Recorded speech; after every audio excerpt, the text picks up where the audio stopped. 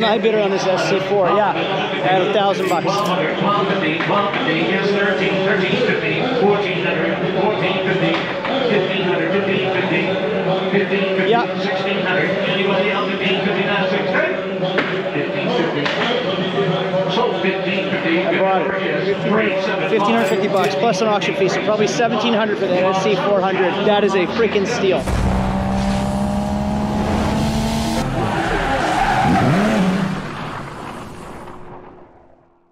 So as my Audi was running out, that SC400 was running through, so I sprinted straight over to it and I got it for a total of $1,765. All right, where was my Lexus SC400? Here we go, a 1993 Lexus SC400, 149,000 miles, 4 liter, 1UZ V8 automatic transmission with leather interior. These cars are amazing.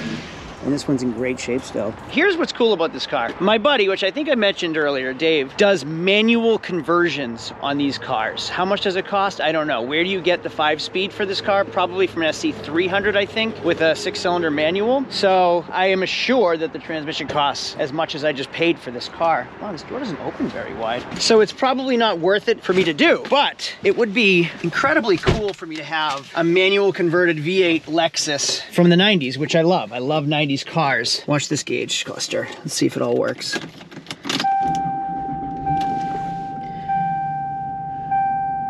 What lights are gonna stay on? Airbag light? Nope, airbag light goes. Freaking Toyota, unbelievable. Toyota, and it's warm in here. What a car, back in 93. They were just so far ahead of their game. Yeah, this car is still so clean. Uh, and a matter of fact, that's actually clean for leather that age. My best childhood friends, Dave, you know who you are. He did a manual swap conversion. Figured out how to do a manual SC300 swapped five-speed conversion in this car, and that is his drift car project that he's currently working on. Fun fact, these are actually called a Soarer in Japan. So these come with the 2JZ Supra engine, so you can actually get a luxury Supra in these cars for a fraction of the price. You can get a turbo, six-cylinder manual transmission Lexus SC300 and have it be a fraction of what the cost of a Supra is. So sometimes I like my job. Like, buying old cars is a gamble. That's a 95 Buick. If you've seen the video, it's cool. Supercharged 3.8 liter V6. Like, the idea behind it is pretty awesome. 94 Mercury Cougar, 59,000 original miles California car. No rust. Both are for sale. If you reach out to me on my website, both are for sale. But, you know, like, I'm, I do not have the time for a project. This one has pretty rusty because it came from New England. It's a real bummer and it's a real gamble. But I'm a sucker for 90s cars, especially Lexus SC400s and 300s. Those are really, really cool cars. So I bought it at the auction. I paid $1,700 for it. I paid $1,965 after auction fees. So I'm into this car for about $2,000 before any expenses. We're gonna bring it into the shop. We're gonna go through it. It seems pretty solid. Then we're gonna have it detailed and then we're gonna try to sell it for a profit in this video. Now, what's really cool about this video too is that I have a Lexus aficionado. He is like oddly knowledgeable about Lexus. My buddy Dave built my uh, Eagle Talon for me and he's done some projects for me. He just has some really cool Lexus cars and some odd knowledge. So I'm gonna, before I even dive into this, we're gonna go right to his shop. I wanna learn about these Lexuses and teach you guys a ton of information. So let's go over to my buddy Dave's shop. This right here is a Toyota, not a Lexus, Toyota Soarer. What makes it any different than the Lexus SC300? Ah, I will show you. Number one, bummer, it's an automatic, but it is right-hand drive. This is a really, really cool looking car. Comes with the 2JZ, I believe. You guys will tell me if I'm wrong. Different front end. You can see the Soarer emblem on the hood. Love the wheels. And the leather is in great shape, which is not normal for these cars. Usually they're all torn up and the dash is all cracked. This is in great shape for the year. Tough to find them in manual transmission though. I was really hoping this was a, a manual, not auto. Really cool to see these uh, in the US now. So I've been on my computer all day. Noticed there was nothing in the fridge, so I was just about to head out to the grocery store to grab something for lunch, and this just showed up. My Factor meals. Uh, my favorite day of the week. Factor week. This week's pre-made meals showed up. What do we have today? Truffle butter filet mignon, jalapeno lime cheddar chicken, green peppercorn pork tenderloin, roasted garlic chicken, ground beef and thyme cottage pie with parmesan buttered zucchini.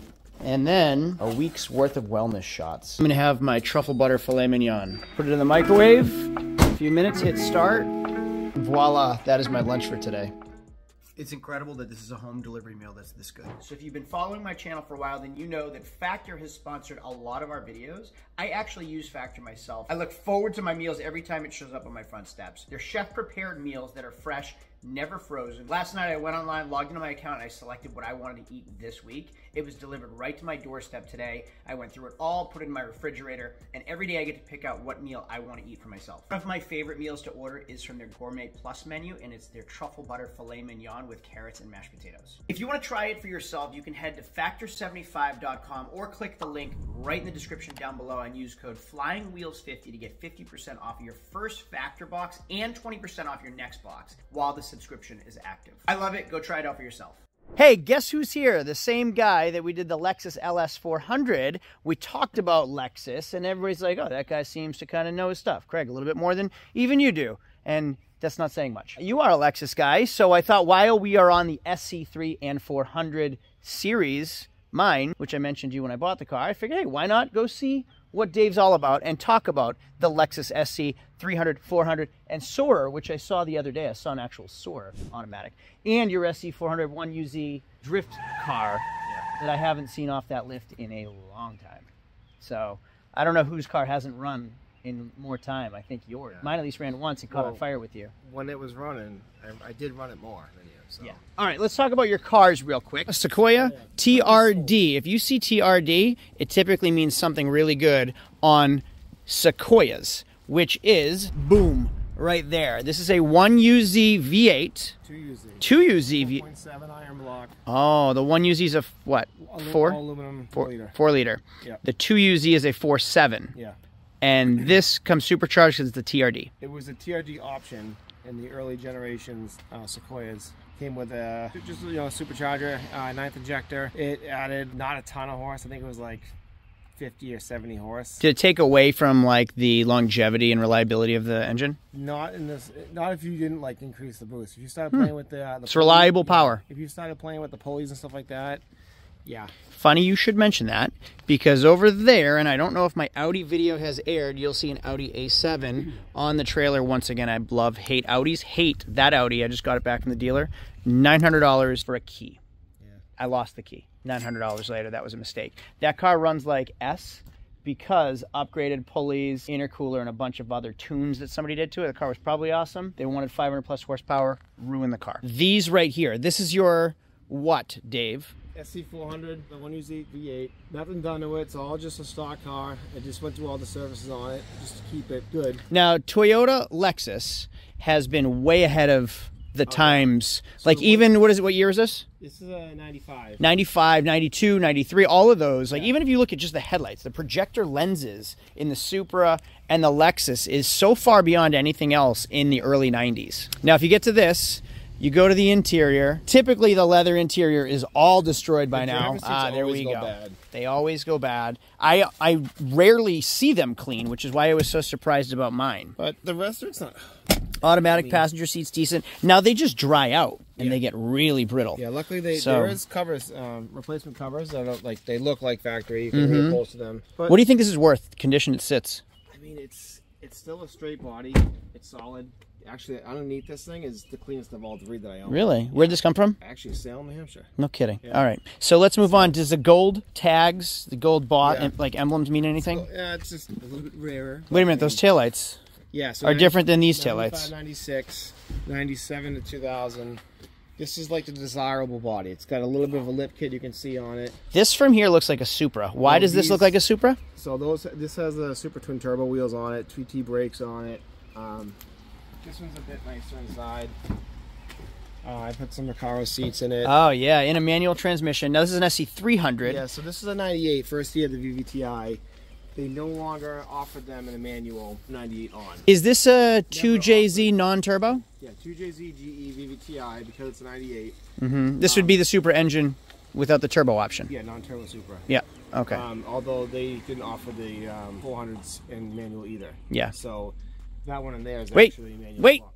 Don't say that yet to anybody. Don't say that yet. Retract those words. Yeah, so this is your SC 300. Yes. 300 meaning 6 cylinder, 400 4 liter. Is this a 3 liter? Three liter inline six, hence the 300, four liter V8.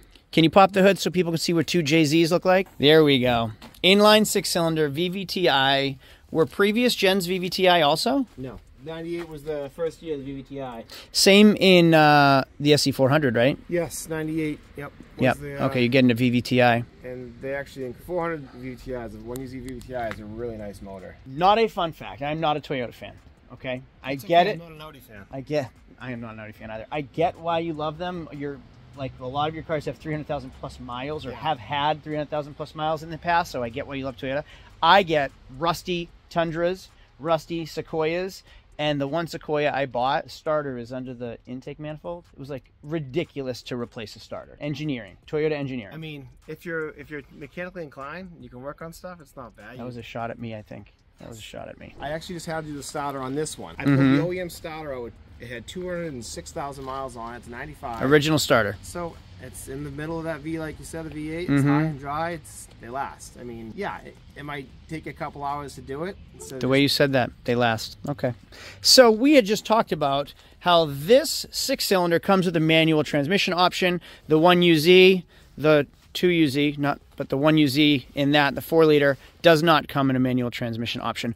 Or does it? It does if you know this guy. What am I talking about, people? This right here. This has taken up a lot of space for a long time. Dave, I'm going to go through this a little bit and then you tell me everything really. Still, 1UZ, 4 liter V8, right? Stock internals, but it's been completely rebuilt, right? Nope. Oh, it's It's not. all fully forged internals. Um, so it's got CP pistons, um, Eagle rods, upgraded hardware on the rods, um, ACL race bearings. It's got the ARP head studs now with the MLS head gasket so that it can handle the boost. Because um, otherwise you'll you won't be able to uh, do it with stock. Right. Um, Fun fact built by my uncle, yes. Uncle Mike, at Malden Machine. Yep. Malden Machine. Brought it to him in pieces. Literally just hand it over the block. Just carry it all. You know, it's aluminum V8, so everything's super lightweight. Mhm, Your headers are backwards. Yeah, forward facing manifolds. Did you? You did some of this welding and fabrication, didn't you? Yeah, I did all the all, all the fab besides the engine work. So this is going to be sitting right about here. That's why the manifolds are facing forward. Yeah. Even for a uh, V8, there's still a lot of space in this engine bay. Um, that's because I moved everything forward. So this Ah, okay. radiator is you can see it's tucked underneath the radiator Mm-hmm. These tabs actually used to hold the radiator right here. So everything was so much farther back. Plus you had a fan. Any idea what you're expecting for power when you're finished? The motor's built for just over a thousand. Um, honestly, I always go a little above and expect less. Overbuild. Yeah, Right? Because over engineered just like they did for Yeah. the factory. Right. Um, you know, I like old stuff. That's awesome. Z wheels fit on it, huh? So, you will see a manual have- transmission in there with your hydro handbrake, your hydraulic handbrake. Yep. You fabricated this transmission from what transmission? What'd you get to fit? This has a CD09 from Out of uh, a Z. 350Z. Yep. Yeah. Okay. Holy moly. You're able to be moving sideways on this, like completely sideways. Wow. That is really impressive. So, this is a cool project I wanted to share with you guys because I wanted you to learn about SC3 and 400s, and there really is no better person to teach you about those things than this person.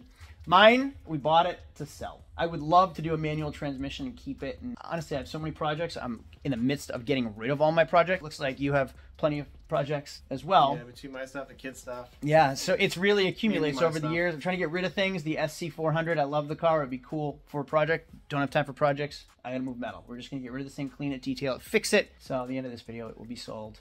And hopefully you guys learned some information. Dave, thank you so much. Let's move on to the next segment. So we're back at my shop. Sneak preview. This is a G37S Coupe 6-speed. Check this car out real quick. Just picked this up at the auction. Rear-wheel drive, 6-speed manual transmission. I was bidding on it from that angle. It was in a rush. I was in a rush. I went against everything I say, and I bid on it, won it. So come to find out, this door is all banged up. So that's a real, real bummer. Whatever, we can get past that. Now the shop's going well. If you remember German, German was awesome. He maintained all of the shop and he was an awesome detailer.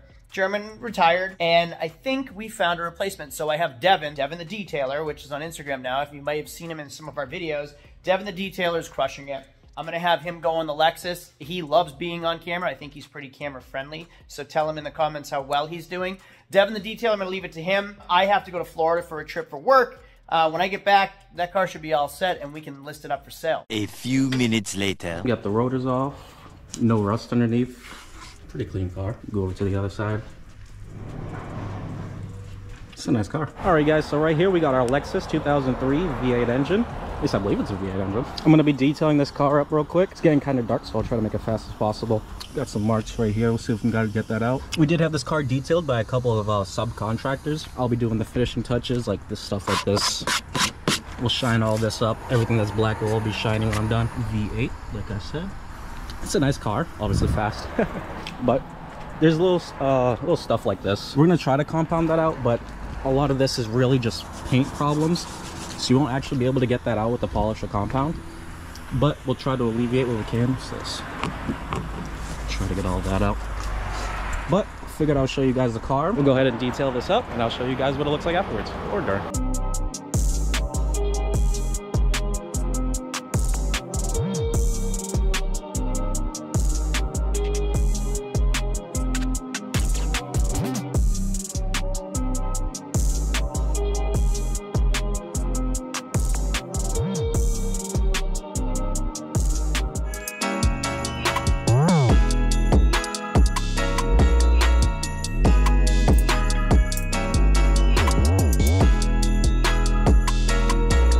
Got the trunk all cleaned out, got the trash all thrown away, got it all vacuumed squared away.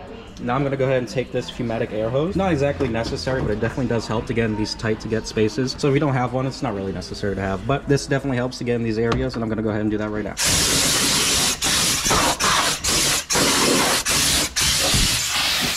And you can even see the amount of dust that actually flies around even after vacuuming it.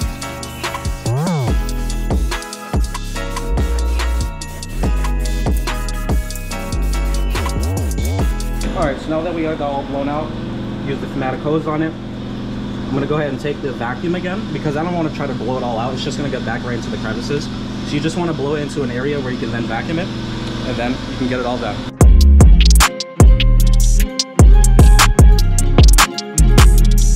Okay, so right here inside the hood, we have a lot of sticky residue that we can't really get off with just a rag and a cleaner. So what I'm actually gonna do is take some goof off and take a wire brush. Now this wire brush isn't as aggressive as one of these, so it'll be a lot more gentle on the paint. What I'll usually do is just take one of these, dip inside the can, hopefully I'll tip it over.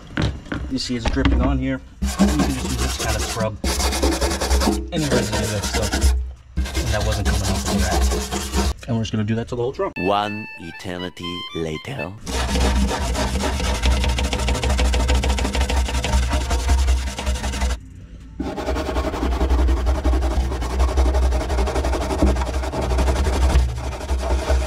All right, so we got this all goofed off. of the products right over here just in case you wanted to see. It's right here. This is again a wire brush that's not too aggressive, like a regular wire brush, so it's not gonna really damage the paint. So I got everything that I could get off with that wire brush. But as you can see, there are originally some scrape marks. They're already here. I'm gonna try to hit this with a 320 sandpaper. So I think this color right here will match great. These cans of spray paint are a bit expensive, so I don't want to use too much. I just want to kind of cover up some of these scrape marks. Brought it over here. I got a 320 grit sandpaper pad. I'm just gonna hand sand it because like what I did with that Ford over there, I use a pneumatic sander on the whole trunk just because it's a lot easier, but I'm not gonna be doing this whole trunk. I'm just gonna be touching up some of these scrape marks. So I'll kind of hand sand down some of these scrape marks. This is all paint damage. We're not gonna touch any of that. We wanna keep this car original because it's a 93. Plus, we really wouldn't do any paint correction above the bumper anyway, as Craig likes to call it an eyesore, and, it is, and he is right. I'm gonna go ahead and wipe that off real quick. I'm gonna sand down all these scrape marks just a little bit, and then we're gonna go ahead and correct all these scrape marks.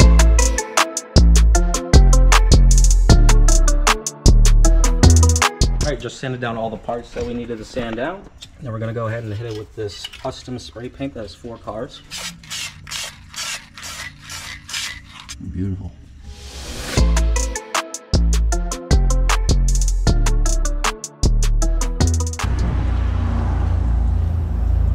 Just finishing up with the hood. Got it all cleaned down.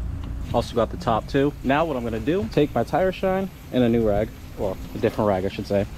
And I'm gonna shine up all the black parts, the battery, all the plastic, fuel pump, and make it all shiny.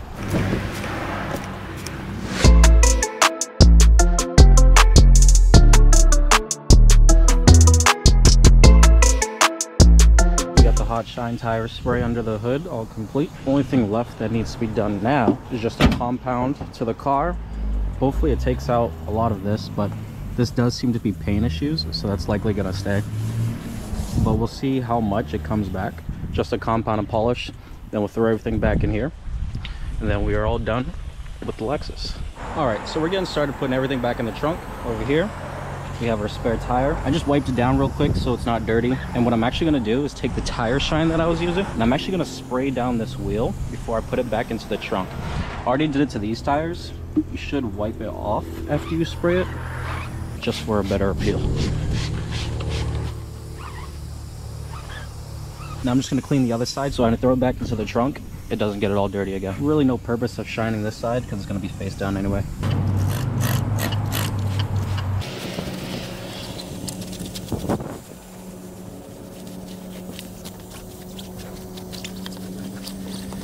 All right, so we're here with the Lexus, the 93. And I started compounding it. I got everything all set up over here. I got my Meguiar's Speed compound. I started half the hood.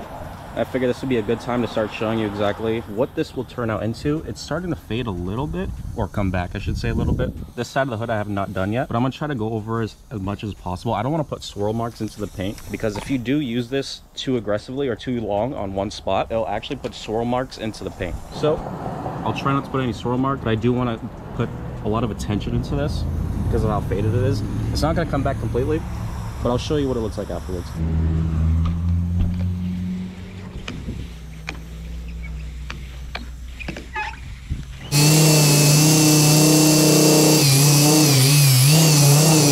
A few minutes later. So as you can see, I did half the hood.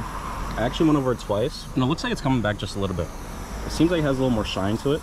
So we'll go ahead and get this whole thing done. All right, so we got the hood all compounded. I actually went over it twice. Not really sure if it made a difference. Definitely looks glossier. I guess really the only way you're gonna be able to tell is the before and after. But if anybody really wants that to come out, it just really needs to be repainted. Every time you compound a car, you do wanna wipe off all the compound. And then once I'm done compounding this whole car, I will be polishing it. I wanted to bring this to an attention. I don't know if it's really showing up on camera, but there's little watermarks that were kind of stuck inside the clear coat and the compound pad was actually doing a very good job actually getting off the watermarks so if you have any watermarks any droplet marks that are inside the clear coat compound and a uh, compound pad should be able to get it out all right so one thing i wanted to mention i just actually saw this little white mark here i don't know if you can see it that well it actually wasn't coming out while washing the car or even scraping it with my nail but it was actually starting to come out with the compound pad so i actually wanted to show that And as you see, no more mark. All right, I know. This trunk needs Jesus. We're not gonna be able to fix this. so does my sanding pad. But we'll see if we can make it better.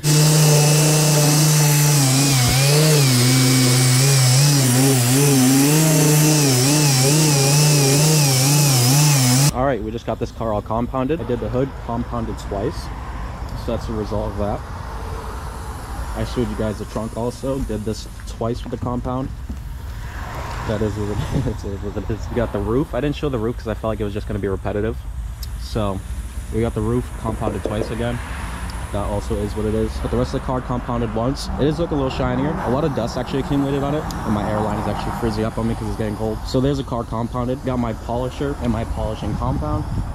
Or I should say polishing agent. Ultra Pro Finish Polish, Meguiar's. Got the uh, compound pad, polishing pad and we're gonna get this all polished up. All right, so right here we got our finished product of the Lexus. We have it all polished, compounded, some parts, two. Right here we did two, top, trunk. The rest was all done once, all polished once, and this is the finished product. I wanted to show it while it's still daytime, but I did get caught up. But on this side, I wanted to show you guys, there's actually a bunch of paint splatter back here. All this paint splatter. So what I'm gonna do is take this medium reducer, it's like a paint thinner, and it is safe for the cars. So I'm just gonna splash them onto here and then I'm gonna kind of rub a little bit aggressively. Let's see if this comes out perfect.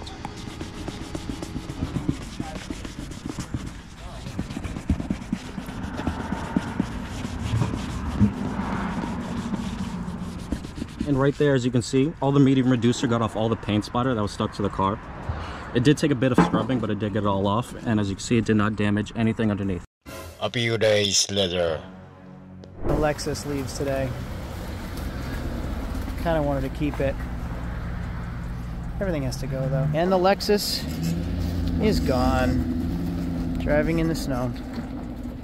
See you later. So, end of the video. Sometimes my videos go a little bit longer than they should. Obviously, it's there's no more snow. I sold the Lexus SC400 in winter, like maybe a month and a half ago, but you know the vi- video kind of sat on my cutting room floor for a while. So we ended up selling it for five thousand dollars, which is a very fair price for that car. A rust-free, clean SC400 with clean leather, no cracked dash, great body, like sun damage. That's it. Guy bought it, loved it, took off with it. We ended up making about three thousand dollars on that car. Now, that's before expenses. All the labor, like we paid two thousand. All the we didn't have to do much as far as repairs go. Uh, it was just labor, like Devin's labor, putting his time into detailing it, getting ready for sale. Lauren's time marketing it and selling it. Cost for commissions, cost for doing business. So like internet, principal, interest, mortgage on the property, uh, like all the expenses get taken out of how much you make. So you have your gross profit, which is like, hey, you, you paid two, you sold it for five, you made three. That's not real. Then you deduct all of your expenses, like how much, how many cars do you sell every single month, and then divide that by your expenses, and that's how much it costs you per car. Deduct that from your gross profit as well, and then you know how much you really made. Then take a third of that and put it towards taxes. So we probably made, maybe made two, maybe we made 1800 on it. So maybe made 1500 on it after expenses depending on how many cars we sell in a month. That's a general idea of how the business works. We didn't sit on it very long. That car moved pretty quickly versus like that audi has been where is it? Right here. Sitting for far too long. That kia uh, was just brought to my attention that i've had it for a year that car almost has a birthday which is making me sick Nobody likes the color. So that's how the business works generally. I hope this was informative, educational. If it was, make sure to subscribe because I'm putting content out like this all the time. And then thanks to Dave for giving us a plethora of Lexus knowledge. And then did I already say subscribe? Thumbs ups just help me help my videos perform better. And then we read the comments. So let us know what you think of this video. Thanks for watching. I'll see you all later. Adios.